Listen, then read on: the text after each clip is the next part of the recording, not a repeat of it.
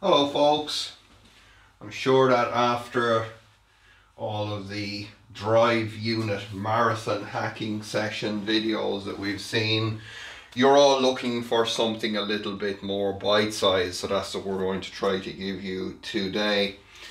Um, Matt and I have been working away on the uh, Model 3 charge port stuff well mostly Matt I just test things and uh, pleased to say that we have got success here uh, both with with his e uh, with his US uh, charge port ECUs and my EU CCS version. So uh, test setup is exactly as we saw in the last video um, except this time now I actually have the correct plug for the car side of the ECU which is uh, this guy here so I now have the plug that fits that so yay me. Also got a second um, ECU uh, one of them is actually from a UK car so a, U a UK um, CCS equipped vehicle uh, what else not much else just got an STM32F4 with Matt's code on it laptop here with a little serial terminal. Uh, here I have just a random granny cable. Uh, this is just a type 2 uh, single phase um, charging plug.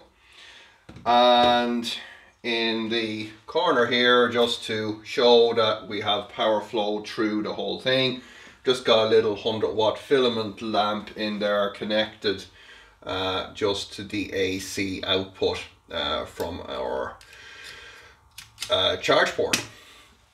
Just going to put this leather glove over it because when it turns on, if I didn't, it would just wash out the camera. So, um, as we like to say in these situations, open the charge port door, please, Elon. Oh, I pressed the wrong button. Of course I did.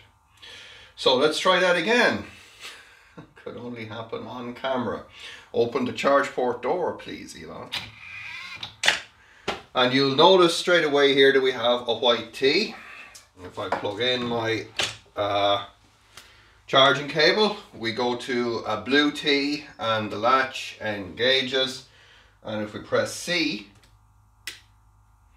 we get a green pulsing T, a happy Elon and obviously you can see here uh, that my my uh, filament lamp has came on just in case you can't. There it is and all of its blazing glory.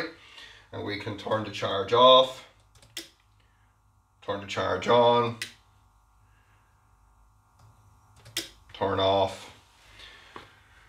Uh, and it'll basically sit there charging away merrily. Now I do have a Tesla wall connector which would let us do the little button push on the handle thing but unfortunately the cable won't quite reach into the shed here so we'll have we'll have to wait for the next episode when I can drag this whole movable feast out uh, onto the driveway uh, so if we stop charging there and just release our latch uh, can close the door. Now what is working, I think, at the minute is the push door open. So if we um, if we press the door, does that work? Don't think so. Either that or my door doesn't like me very much. No, I don't think my door press opens, but uh, normal door should open. Yes normal door open open and just one more time blue T, and green pulsing T.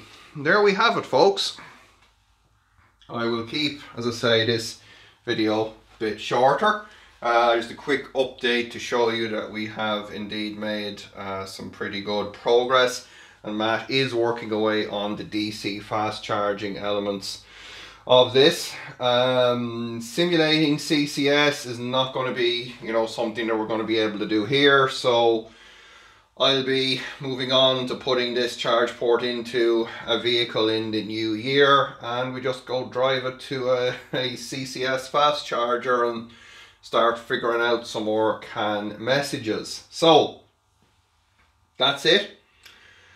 Uh, I will leave you there. As always, uh, don't forget to dislike, unshare, do not subscribe to this stupid channel. Uh, do check the links in the description, but whatever you do, don't visit them and don't support me or visit the Open Inver Inverter forum where you can see more of this Tesla hacking stuff. Don't do that. And uh, until next time, happy green pulsing T.